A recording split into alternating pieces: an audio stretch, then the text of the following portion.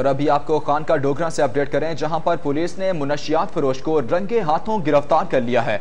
मुकदमा दर्ज करके मुलजम को हवालात में बंद कर दिया। भारी मिकदार में मुनशियात भी बरामद कर ली गई। खान का डोगरा में पुलिस ने डीपीओ शेखुपुरा सरफराज अहमद खान खानवीर की हिदायत पर मंशियात फरोशों के खिलाफ ऑपरेशन शुरू कर रखा है।